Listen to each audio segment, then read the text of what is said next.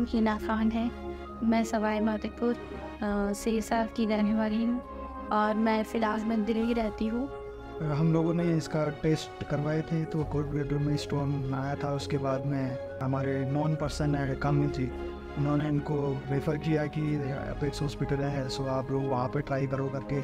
हम लोग दिल्ली चले गए थे हम लोगों को थोड़ा फील नहीं हुआ कि वहाँ पर करवाना सही रहेगा। सो हम लोगों ने फिर जयपुर आए। डॉक्टर रजनीश बहुत ही एक्सपीरियंस डॉक्टर हैं।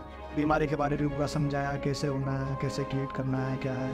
उसके बाद में कल सक्सेसफुल उन्होंने ऑपरेशन किया। और यहाँ का जो स्टाफ है नर्सिंग स्टाफ है रोहिणी मिश्रा जी हैं। उन्होंने भी काफ़ी सपोर्ट किया है। हम कोई भी इस तरह का कोई पेशेंट है या नोन हुए तो हम लोग ज़रूर उनको यहाँ पे रेफ़र करना चाहेंगे पिक्स हॉस्पिटल में।